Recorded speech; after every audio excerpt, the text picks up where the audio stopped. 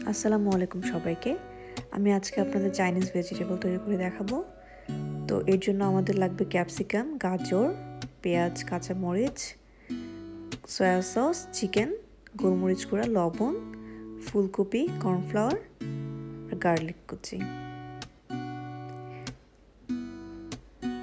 প্রথমে আমি ফুলকপিটাকে একটু ভাপ দিয়ে নিব গরম পানিতে। আর চিকেনটাকে এখানে গোলমরিচ, লবণ আর সয়া সস দিয়ে একটু ম্যারিনেট করে রাখব।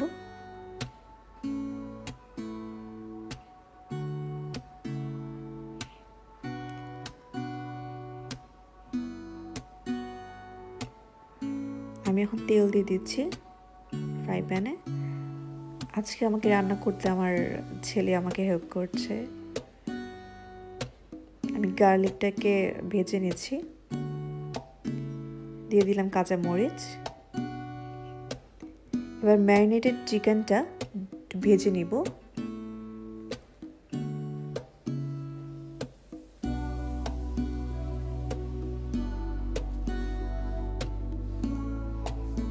আমার ছেলে খুব এক্সাইটেড রান্না দেখার জন্য। তো আমি গাজর দিয়ে দিচ্ছি চিকেনটার সাথে।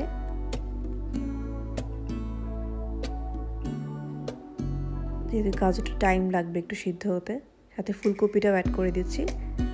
যদিও ফুলকপির আমি একটু ভাব দিয়ে নিয়েছিলাম। পেঁয়াজ আর ক্যাপসিকামটা একটু পরে অ্যাড করব। ক্যাপসিকামটা হতে বেশি টাইম লাগে না। পানি দিয়ে দিচ্ছি।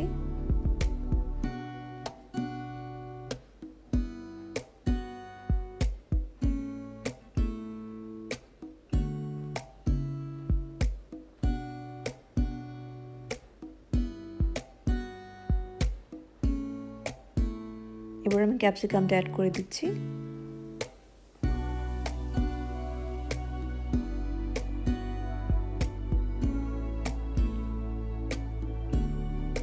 পেঁয়াজগুলো দিয়ে দিচ্ছি। পেঁয়াজগুলো ফালি করে কেটে নিতে হবে গোল গোল করে।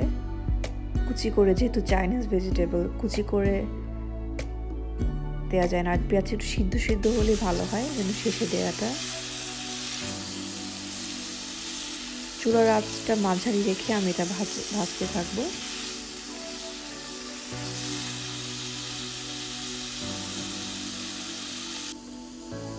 এক্ষেত্রে আমি একটু সয়া সস দিয়ে দিচ্ছি, প্রায় ওয়ান টেবিল স্পুনের মতো। দিয়ে একটু পানি দিয়ে ঢেকে দিব।